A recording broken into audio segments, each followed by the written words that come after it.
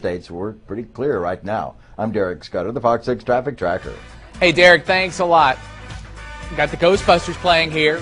If you're heading out to the Alabama Phoenix Festival, we're going to, well, JJ told you about it yesterday. We're going to take a look at a few more of the uh, activities here. We've got some special guests. You know the Ghostbusters. You met them a moment ago. Robin Shelby. Why is Robin Shelby here with us? Well, do you remember Slimer from Ghostbusters? I didn't know there wasn't anybody involved with Slimer. I just thought it was graphics. Most people say the same thing. They come up to me saying there's a human being inside that. But that was 1989, and computer graphics weren't quite as used back then. So yeah, there's a person, me. Uh, so, so, so, what, how did this work? How, uh, explain this one to me. My whole body I'm fascinated, guys. we'll talk to you later on.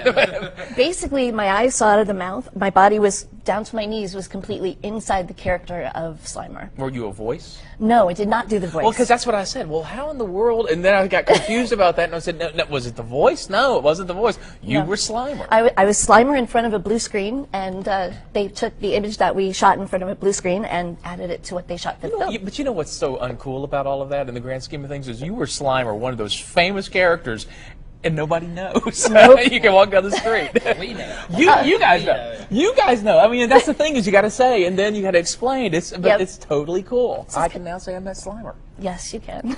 I love it. And, and you're you're part of uh, you're part of the event this weekend. yes, I'm with the Alabama Ghostbusters at the at the Phoenix Festival. So come on down. Okay, now I've got a mic, so I'll just. But, but you guys, it's a good look. It's, it's you've even got your ID card. I like that. That's that's that's all. That that all works.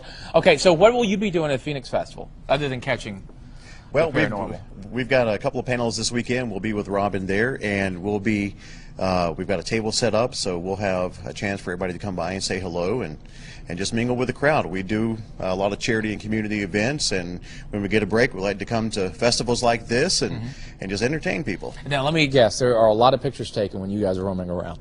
Would that be fair to say? Yes, yes. And and, and Robin, it's the same thing. After we explain it, then everybody's like, "Hey, I want these pictures too." But but but I mean, it's got to be cool. What, what's it like when you go to these events like this? I, I meet some of the Ghostbusters fans, um, and they're amazing. They could not be more incredible. They're they're very giving and loving, and um, and they appreciate everyone involved in the film. So Well, what was it like when they captured you and put you in the box? it, it hurt. Wow. It- ouch. Ouch. I It know. hurt. I know. But, I mean, this is so cool, though. You've learned something you never knew before today, probably. Okay, Robin, it's a pleasure talking to you. Today. Pleasure talking to you. thanks so Rick. much. Have a good time in Birmingham. Thank you. Come you down, guys, come thanks so much. Yeah, come down. Uh, Alabama Phoenix Festival, going through.